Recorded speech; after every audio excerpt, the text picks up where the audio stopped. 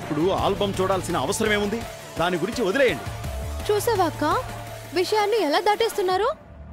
నువ్వు ఆల్బమ్ చూడాలి అంటే చూపించమంటున్నారు.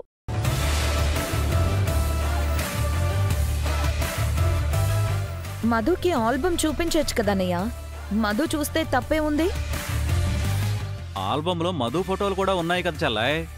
తను చూసుకుంటుంది కదా. ఇప్పుడు ఆ ఆల్బం చూస్తే మహా ప్లాన్ మధుకి తెలిసిపోతుంది. మహావదిన అసలు రూపం మధుకు అర్థమైపోతుంది. సీత ఇలాంటి చిక్కు తెచ్చిపెట్టిందేంటి? మధు ఆల్బమ్ చూస్తే ఒక ప్రాబ్లం చూపించకపోతే ఒక ప్రాబ్లం. ఆల్బమ్ చూపిస్తారా లేదా అని అడగక్క? రేపు చూపిస్తాను. కుదరదు. ఈ రోజే చూపించాలి అని చెప్పక్క? రేపు చూపిస్తానని పిన్ని చెప్పింది కదా. ఆల్బమ్ చూడ్డానికి ముహూర్తం చూడాలా రామ్? ఇప్పుడు మంచి గడియలే నడుస్తున్నాయి రామ్.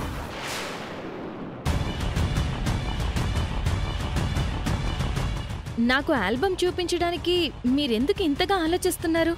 అందులో ఏముంది? అది అలా అడగక్క. ఆ ఆ ఆల్బమ్ ఎక్కడ ఉంది మధు. ఇంట్లోనే ఉంది కదా వదినా నీ రూమ్లో బీరువాలో భద్రంగా పెట్టుంటావు కదా చల్లాయ్. ఆల్బమ్ ఇంట్లోనే బీరువాలోనే ఉందని మీకెలా తెలుసు? మీరు చూసారా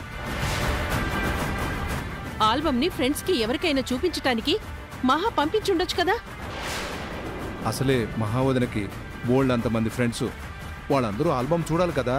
వాళ్ళందరికంటే ముందు మా అక్క ఆల్బమ్ చూడాలి. సీత ఎందుకంత పట్టుపడుతున్నావు రేపు ఎల్లుండో చూడొచ్చు కదా? మా అక్క ఈ రోజే ఇప్పుడే చూడాలి. అనుకున్న వెంటనే అన్ని జరిగిపోవాలంటే ఎలా? దేనికైనా టైం రావాలి కదా. మీరు ఎందుకు ఇలా మాట్లాడుతున్నారో నాకు అర్థం కావడం లేదు. మీరిప్పుడు ఆల్బమ్ చూపించకపోతే మీరేదో తప్పు చేశారని నేను అనుకోవాల్సి వస్తుంది మేమేం తప్పు చేస్తాం మధుమిత? మీరెందుకు అలా మాట్లాడుతున్నారు?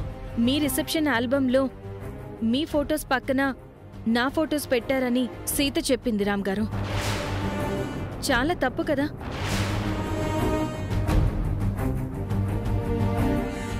అది నిజమో కాదో తెలియాలంటే నేను ఆ ఆల్బమ్ని చూడాలి. మీరు చూపించకపోతే మా సీత చెప్పిందే నిజమని నేను నమ్మాల్సి వస్తుంది.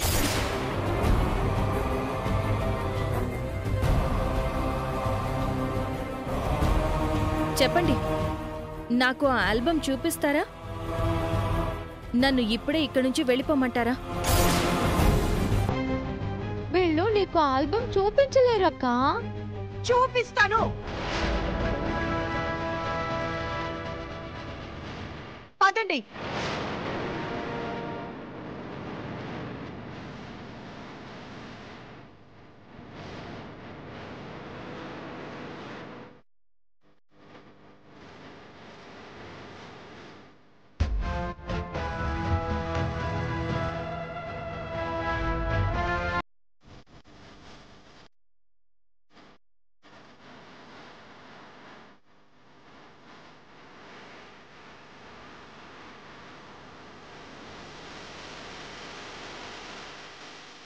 ఇక్కడ దాకా వచ్చి ఇంకా ఆలోచిస్తున్నావేంటి అత్తయ్య? ఆల్బమ్ తీసి చూపించండి. ఇప్పుడుంటుంది మహాలక్ష్మికి మధుమిత ముందు తలదించుకుంటుంది. సీత భలే ప్లాన్ చేసింది. మహాలక్ష్మికి పెద్ద షాక్ ఇది. మధుమితకి ఆ ఆల్బమ్ చూపించండి పిన్ని.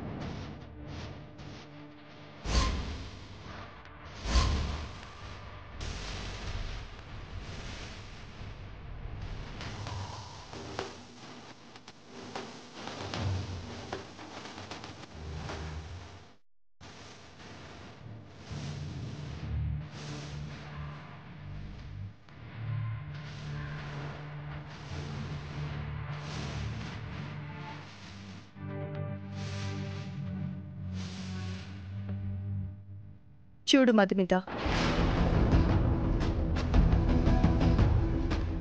త్వరగా చూడక్క. నిజమేంటో నీకే తెలుస్తుంది.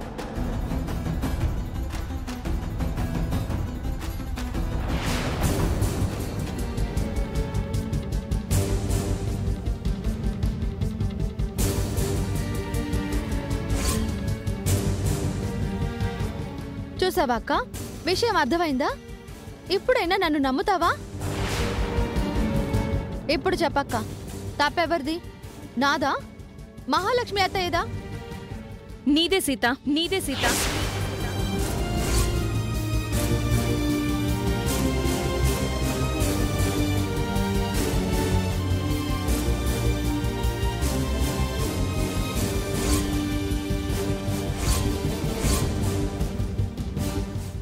ఆల్బంలో ఏ తప్పు లేదు. నువ్వు చెప్పినట్టు ఆల్బంలో ఎక్కడా నా ఫోటో లేదు ఏ ఫోటో కట్ చేసి లేదు. సరిగ్గా చూసావక్క ఆల్బంలో అన్ని నువ్వు రామ్ గారు కలుసున్న ఫోటోలే ఉన్నాయి. కావాలంటే నువ్వే చూడు. చూడు.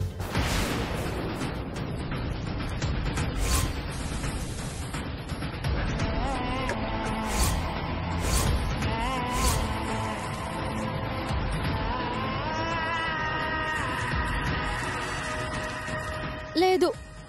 ఇది వేరే ఆల్బమ్ అక్క. ఆ ఆల్బమ్ కాదు. ఆ రోజు వచ్చింది. ఈ ఆల్బమే కదా సీత? రెండు ఆల్బమ్స్ ఇవ్వలేదు కదా? లేదు. మీరు ఆల్బమ్ని మార్చేశారు. మా అక్క ముందు మాయ చేస్తున్నారు. ఇక చాలా ఆపు సీత.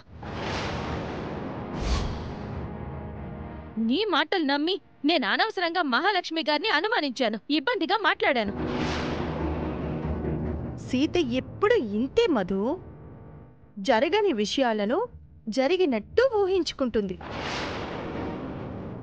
నా మీద లేనిపోని నిందలు వేస్తూ ఉంటుంది. అవును మధు. ఇలాగే ప్రతిసారి మహాని బ్లేమ్ చేస్తూ ఉంటుంది. మహాను బాధ పెడుతూ ఉంటుంది. అందుకే రామ్ ఎప్పుడూ సీతను తిడుతూనే ఉంటాడు మధు.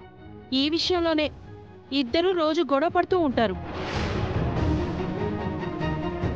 అప్పటికీ సీత సంగతి తెలిసి మహావదిన ఎంతో ఓపిగ్గా సహనంగా ఉంటుంది.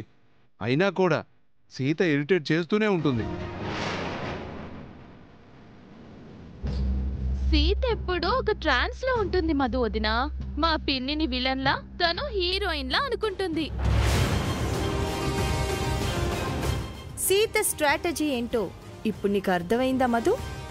నీ కళ్ళతో నువ్వే చూసావు కదా. ఇలా నా గురించి రోజు ఏదో ఒకటి చెప్పి ఇన్నాళ్ళు రామ్ బుర్ర తినింది. ఇప్పుడు నీ మనసు పాడు చేస్తోంది. నీకు మంచి చెయ్యాలని నిన్ను ఇక్కడికి తీసుకొచ్చి పెట్టాను. నువ్విక్కడ ఉండటం ఇష్టం లేక సీత ఇలాంటి పనులు చేస్తోంది. అందుకే ఇక నుంచి సీత ఏం చెప్పినా నువ్వు నమ్మొద్దు. మా పిన్నిని బ్లేమ్ చేయొద్దు అని నీకెన్నిసార్లు చెప్పాను సీత. మీ అక్క ముందు కూడా. ఇలాంటి విషయాలు చెప్పొద్దు అని చెప్పానా? నువ్వు మారవా? మీ పెన్ని ఆల్బమ్ మార్చేసింది అంటే మీరు నమ్మరా? ఆవిడ ప్రతిసారి ఇలాగే ఏదో ఒక గిమ్మిక్కు చేస్తుంది. గిమ్మికులు చేస్తుంది ఆవిడ కాదు సీత. నువ్వే. ఆవిడంటే గిట్టనట్టు మాట్లాడుతున్నావు. అంత మంచి మనిషిని అపార్థం చేసుకుంటున్నావు. లేదక్కా నేను చెప్పేది నిజం. నువ్వే నిందలు వేస్తున్నావని ఈ ఆల్బమ్ చెప్తోంది. ఇది ఆ ఆల్బమ్ కాదని చెప్తున్నాను కదా? ఉన్నది ఒకటే ఆల్బమ్ అని ఆవిడ చెప్తున్నారు కదా? ఒక్కటే ఆల్బమ్ అయితే ఇందాక ఆవిడ ఎందుకు అంత టెన్షన్ పడ్డారు? నీకు ఈ ఆల్బమ్ చూపించడానికి ఎందుకు అంతసేపు ఆలోచించారు? నువ్వు అడిగినప్పుడే ఆల్బమ్ చూపించొచ్చు కదా? అది కూడా పాయింటే కదా చెల్లాయ్. ఆల్బమ్ చూపించడానికి ఎందుకంత లేట్ చేశావు?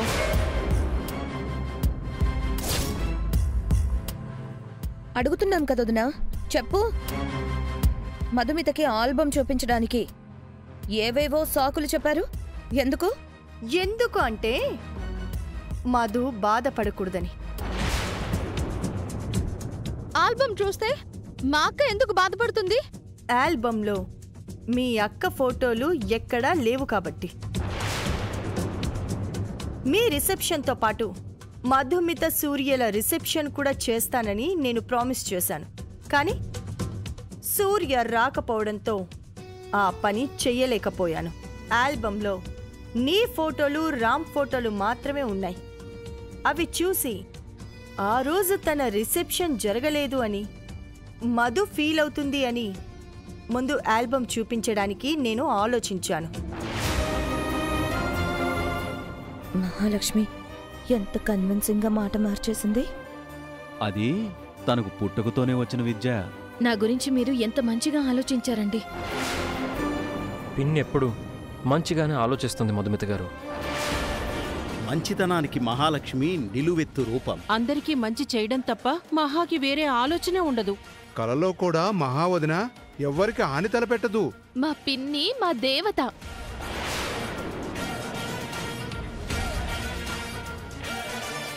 సారీ అండి. సీత చెప్పింది నమ్మి మిమ్మల్ని అనుమానించి అవమానించాను. ఏమనుకోకండి. It's okay Madhu. ఇప్పుడు నీకంతా అర్థమైంది కదా? ఉమ్, అర్థమైందండి. ఇక సీత ఏం చెప్పినా నేను నమ్మను. అంతా మాయ చేస్తుందక్క. ఆవిడ్ని నమ్మకు. నోర్మోయ్ సీత. ఎలాంటి మనిషి మీద ఎలాంటి నిందలేస్తున్నావు అది కాదక్కా. నిన్ను చూస్తుంటే కోపం వస్తుంది సీత. నువ్వు నా చెల్లివేనా అనిపిస్తుంది. దేనికైనా ఒక హద్దు ఉంటుంది మా నమ్మను కూడా ఇలాగే అపార్థం చేసుకుంటావా? నిందలు వేస్తావా? ఆవిడ మన అమ్మ లాంటిది కాదక్కా. అవును. మన అమ్మ కంటే ఎక్కువ. నాకు కష్టం వస్తే అమ్మ కడుపులో పెట్టుకోలేదు. మహాలక్ష్మి గారు నన్ను మీ ఇంట్లో పెట్టుకున్నారు. నా మంచి చెడు ఆలోచిస్తున్నారు. నా బాగోగులు పట్టించుకుంటున్నారు. అలాంటి గొప్ప మనిషి మీద నిందలు వేయడానికి నీకు సిగ్గుగా లేదు? ఇక జన్మలో నీ మాటలు నమ్మను.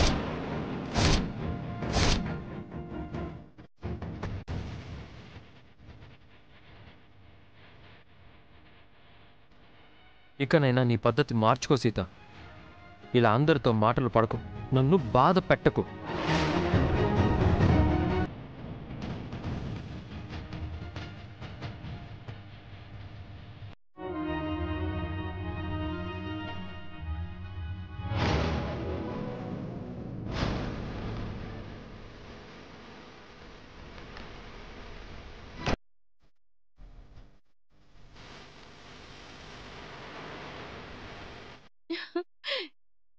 మహా ఈ ట్విస్ట్ మేము ఎక్స్పెక్ట్ చేయలేదు. సీత కట్ చేసిన ఆల్బమ్ని మధుమిత చూస్తుందేమో అని మేమంతా చాలా టెన్షన్ పడ్డాం. సీతకు భలే జలకిచ్చావు మహా. ఈరోజు సీత ఆడిన ప్రెగ్నెన్సీ డ్రామాకు మీరు పర్ఫెక్ట్ రిటర్న్ గిఫ్ట్ ఇచ్చారు వదినా. సీత నోరెత్తకుండా చేశారు. ఇక మధుమిత వదిన సీతని అస్సలు నమ్మదు. మన మాటే వింటుంది. అందుకే సీత ఊహించని విధంగా దెబ్బ కొట్టాను. అక్క చెల్లెళ్ళ మధ్య అడ్డుగోడలు కట్టాను. మధుమితను పూర్తిగా మన వైపుకి తిప్పేశాను. ఈ షాక్లో నుంచి కోలుకోవడానికి సీతకి చాలా టైం పడుతుంది.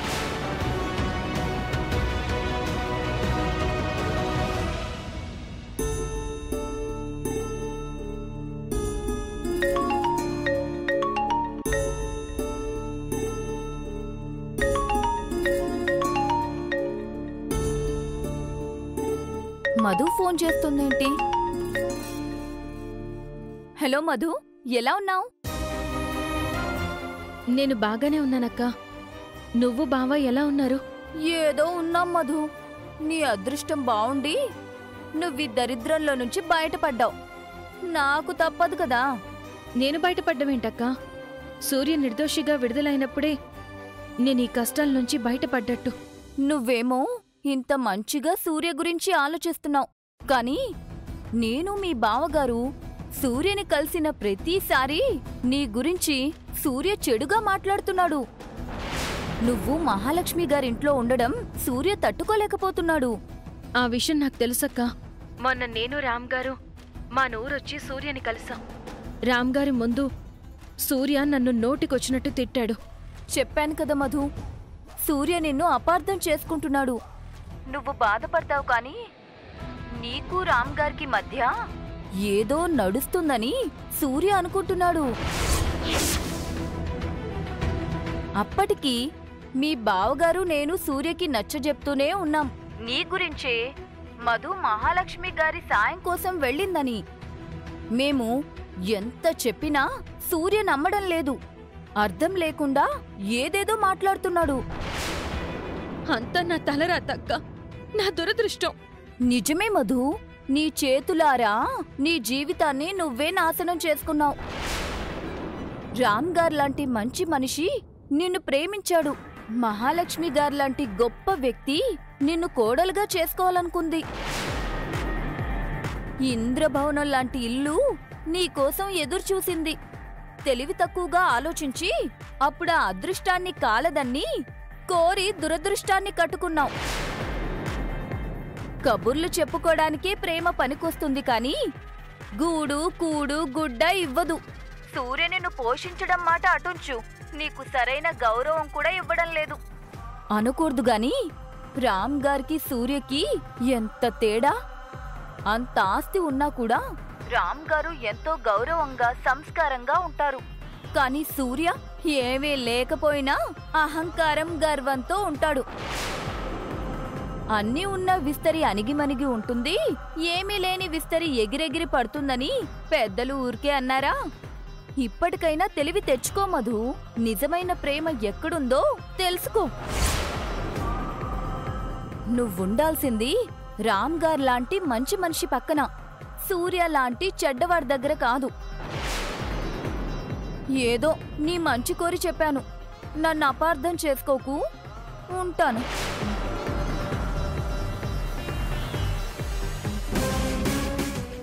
మహాలక్ష్మి గారు చెప్పినట్టే మధు మనసు రామ్ గారి వైపు మళ్ళేటట్టు చేస్తున్నాను.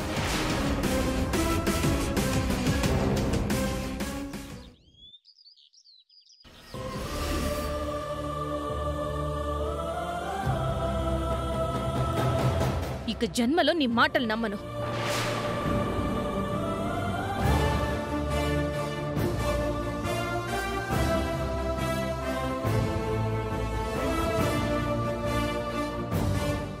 ఏంటి సీత?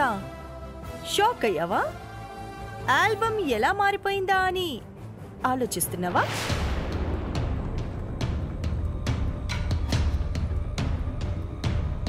ఆ రోజు వచ్చింది ఒక్క ఆల్బమ్మా లేక రెండు ఆల్బమ్సా అని కన్ఫ్యూజ్ అవుతున్నావా?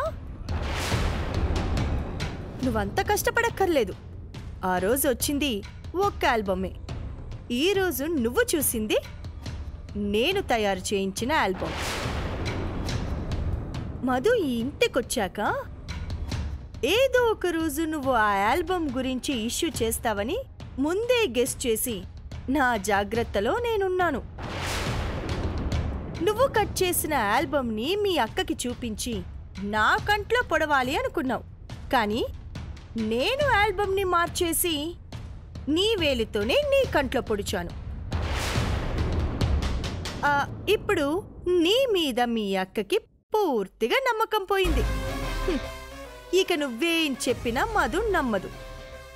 ఎలా ఉంది నా గేమ్?